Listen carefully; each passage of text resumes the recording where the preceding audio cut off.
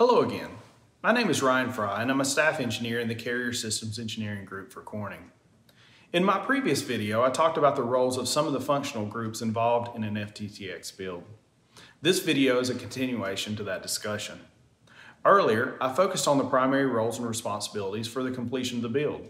Let's continue this discussion by talking about how coming up with standardized product components list is a key step in the process. One of the first things as a lead engineer you need to do is to come up with a standard product set that will be used across the entire design footprint.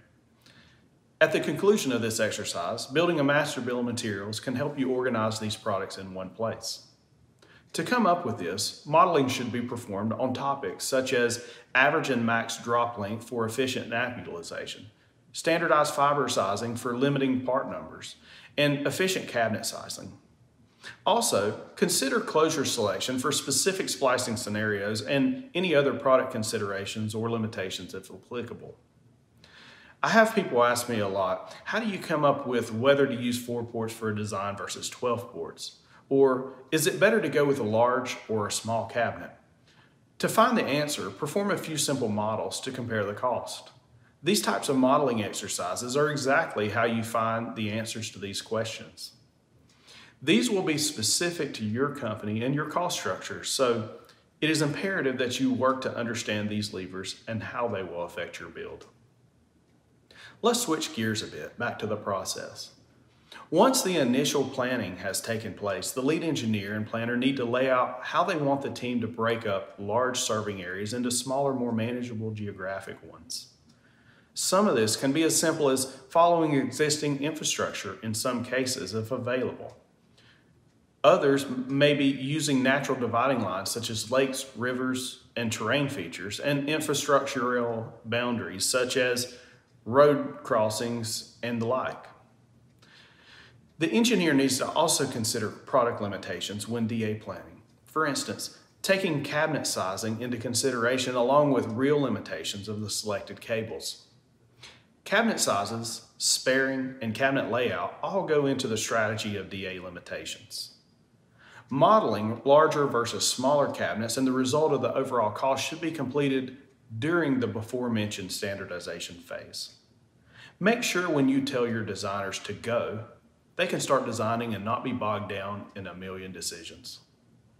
Let's move on to survey planning and getting the survey right the first time. I'm gonna call this pre-survey and high-level design. If not properly planned for, the survey could easily overrun budgets because of rework.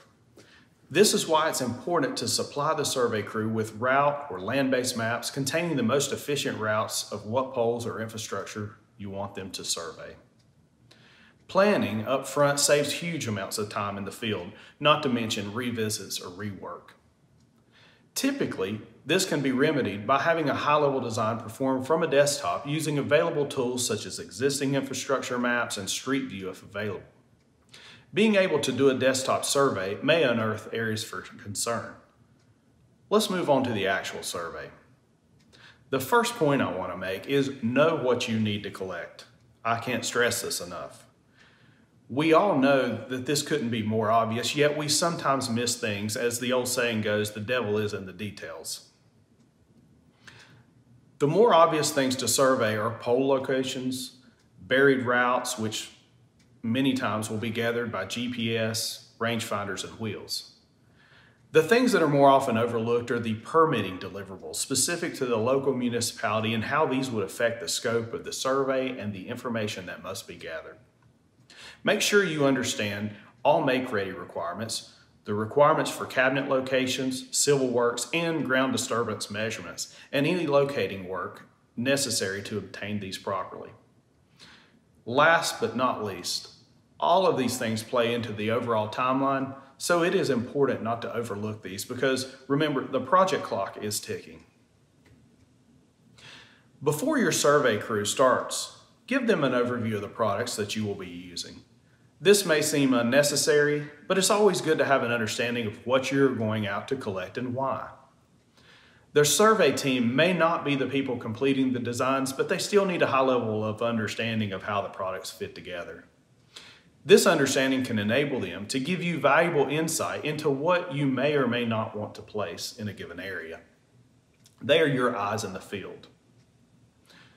Let's summarize with some key takeaways. First of all, know what you need to collect in your survey. Understand the outputs. Make the most of your survey crew's time by doing pre-survey work up front.